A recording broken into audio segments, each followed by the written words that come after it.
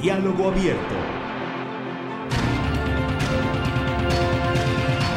Bueno, regresamos a Diálogo Abierto a través de las pantallas de Somos Televisión. Conversamos hoy con el abogado José Valenzuela, miembro de Avanzada Progresista.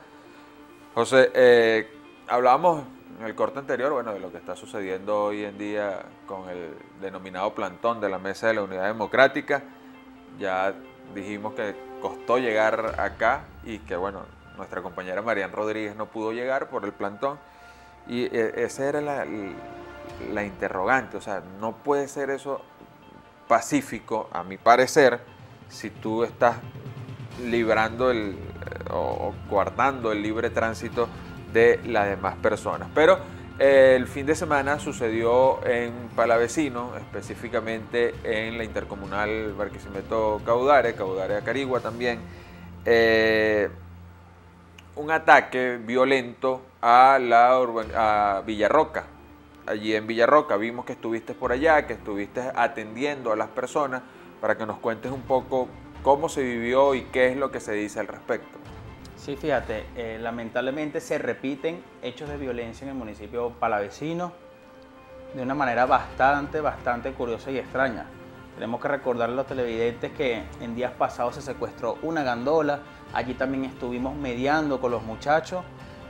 Pues lamentablemente a veces la lucha que mantenemos los sectores democráticos pues supera la dirigencia política y pues lo que hablamos en el corte anterior igualmente, la espontaneidad se viene a, hacer espacio dentro del territorio palavecinense, en este caso pues lamentablemente unos grupos violentos que estamos por identificar pasaban frente a la organización Villarroca, al parecer, según tenemos información, iban al cementerio, puesto que un muchacho en días anteriores lamentablemente perdió la vida allí y pues responsabilizaban a los habitantes de la organización Villarroca de este hecho. Si es así, también rechazamos categóricamente de ser así, pero la información que manejamos es que en esta organización tenían más de una semana sin manifestar en la avenida intercomunal, por lo tanto se nos dificulta, pues el libre tránsito se encontraba con total normalidad.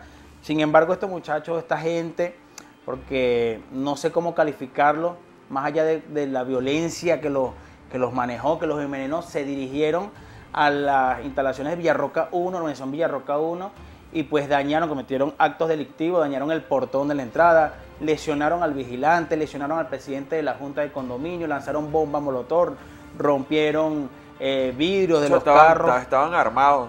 Estaban totalmente armados hasta con bombas molotov, porque si a mí me dice, fue algo espontáneo, porque iban a un velor y, pues la indignación se llenó de él y lo sesgó, pues, pero con bombas molotov, ¿quién va a enterrar a un hermano con, con bomba molotov. Pues, entonces se nota que también hay mucha premeditación y una mano sucia dentro de, de, ese, de esos actos vandálicos y pues por supuesto recibimos inmediatamente el llamado de los vecinos de Villarroca y nos apersonamos con el CEPAS, que es importante resaltar, el CEPAS es el Consejo de Estado por la, por la Paz en el Estado Lara, instancia creada por el gobernador Henry Falcón, donde se congregan no solamente instituciones públicas, es importante acotar, también eh, unidades de derechos humanos, personalidades importantes, iglesia católica, evangélica, y pues que simplemente estamos abordando la situación de, violencia sin distinción de parte. Nosotros hemos dialogado con Guardia Nacional, hemos dialogado con colectivos inclusive, o con grupos violentos o afectos al gobierno, dependiendo de la situación, y con los mismos muchachos manifestantes.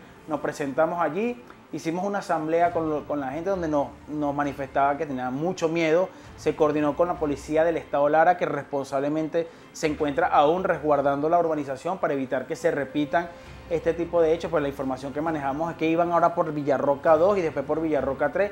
Una situación de verdad que nosotros rechazamos y la cual hacemos un llamado a estas personas que no es la manera de nosotros como venezolanos solventar nuestras diferencias. Si hay un indicio o elemento que, los conlleve a ella tomar la, conclusión que están tomando, pues diríjase a los órganos competentes a hacer la, respectiva denuncia. De igual manera, el día de hoy estaremos, Dios mediante las 5 o 6 de la tarde, allí en la organización con un grupo de abogados, igualmente con representantes de la Iglesia Católica Evangélica, así como los entes de infraestructura de la Alcaldía de Palavecino y la Gobernación del Estado de Lara, haciendo el levantamiento de todos los daños para de una manera u otra contribuir a la solución de ellos. José, cuando llegaste ya no había ninguno del grupo violento. No, eso fue una participación de ellos aproximadamente de dos, tres minutos, donde primero pasaron y rompieron el portón. Fueron al cementerio y mientras estaban recogiendo el portón se devolvieron y rompieron por segunda vez. Nosotros llegamos aproximadamente media hora después, donde ya, ya, ya había pasado, gracias a Dios, los hechos violentos y, y no pasó más allá de eso. Los mismos vecinos tuvieron que buscar rápidamente máquinas de soldadura y esto para reponer medianamente la seguridad de ellos. ¿Qué hacer para, evitar esto en estos tiempos de tanta, de, tanta discordia, de tanta zozobra, como ya tú lo habías dicho? ¿Cómo, aportar desde la política, cómo aportar, por ejemplo, desde la Estado progresista? Sí, como lo venimos haciendo. Nosotros creemos que la política no se basa en la violencia, sino no seríamos políticos. El político es el que dialoga, el que habla, el que busca puntos de encuentro a pesar de nuestra diferencia y el que respeta a quien piensa distinto. Nosotros de Avanzada Progresista estamos integrando este Consejo de Paz, nosotros de Avanzada Progresista estamos siendo partícipes o actores permanentes en, en, un proceso que sirva más allá solamente de levantar la voz de protesta, lo cual es totalmente legítimo, también de mediar con grupos que a lo mejor no piensan igual que nosotros o con los mismos órganos del Estado que lamentablemente han tenido en ciertas oportunidades, por no decir en todas, una, actitud bastante represiva y desmedida y nosotros desde Avanzada Progresista hacemos un llamado a que la calle es necesaria, no solamente legítima, sino necesaria para que el gobierno escuche nuestras peticiones, pero una calle de manera pacífica, democrática, sin afectar eh, bienes, sin, sin ocasionar daño. Por ejemplo, para la vecina me va a nosotros nos han quemado ya dos COEN, dos unidades de módulo policial, y no han sido por investigaciones, no han sido los muchachos que están protestando. Simplemente vienen grupos externos, por ejemplo en Macuto. Pero eso tampoco está, eh, eh, está comprobado, José. Sí, mira.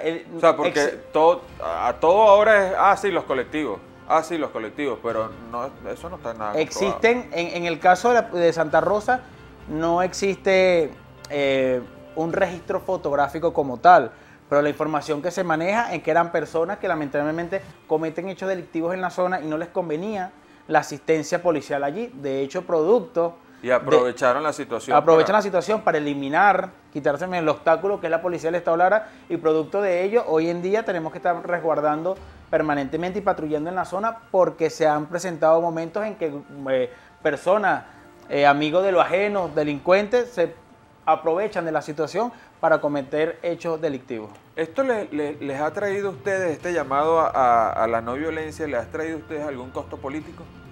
Fíjate algo, yo creo que un, costo político a lo mejor en un sector radical, pero sobre todo hemos penetrado como lo hemos hecho desde hace más de 18 años que venimos eh, trabajando de la mano del gobernador del estado Lara, desde que era alcalde, constituyentista y líder político pues, del estado, hemos penetrado de una manera positiva en otros sectores. Nosotros nunca, escúchese bien, nunca vamos a hacernos eco de posiciones radicales, ni de un lado ni del otro, porque el radicalismo simplemente resta, el radicalismo simplemente divide y una prueba de ello es lo que estamos viviendo hoy. Vivimos en un gobierno que toma medidas radicales sin reconocer ni escuchar el otro sector y aquí están los resultados. Tienen 20 puntos, menos de 20 puntos, creo que 12 puntos de aceptación apenas en las encuestas, siendo gobierno un desgaste increíble. Nosotros, más allá de los cálculos políticos, de lo que digan las redes sociales, todo este tipo de cosas, nosotros vamos a ir de frente con la paz, con el entendimiento y algo muy importante, nosotros creemos que la salida es la calle de manera pacífica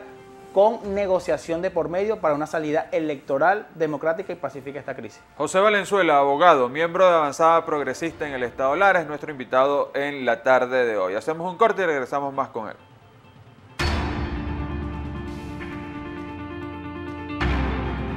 Diálogo Abierto